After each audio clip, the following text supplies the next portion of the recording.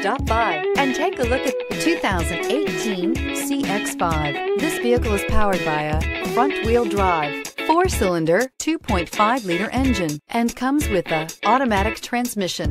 Great fuel efficiency saves you money by requiring fewer trips to the gas station.